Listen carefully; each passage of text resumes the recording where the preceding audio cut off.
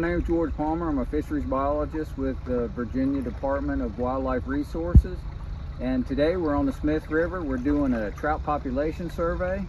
What that involves is it involves several biologists and taking an electrofishing raft. It's a piece of equipment that is used to collect fish down the river, collect as many trout as we can, get information like lengths, weights, and condition to see how they're doing and release them. With the electrofishing raft, we can sample a large length of the stream or basically river today. Sample we're doing today is approximately seven miles in length.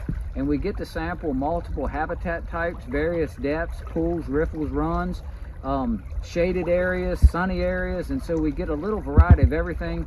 We're not concentrated on one area. We're doing a whole, all the, all the different combinations of of trout habitat down throughout the system. Right now, the status of the fishery seems to be doing fairly well. The fish appear to be healthy. The fish that we're collecting have nice weight to them. The length looks good, and the fish actually look themselves look good.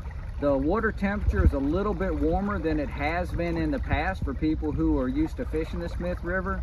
Um, but overall, the fishery, at least to the point we're at now, which is almost a Fieldale below Bassett, is fairly well. Right now we're, we actually have a, a pretty high slot limit on the brown trout fishery. Um, there's a 10 to 24 inch slot limit, which says that if you catch a fish that's a brown trout that's 10 to 24 inches, it has to be released. Um, we allow harvest on brown trout, you know, below the 10 inches and above the 24 inches. So we have a pretty high protective slot. Um, it also has a stocked fishery component that gets stocked from October 1 to June 15th, as a matter of fact. And uh, so that allows people to creel uh, the brooks and the rainbows that we stock in here. Today we've seen some really nice rainbow trout, upwards in the neighborhood of five and six pounders.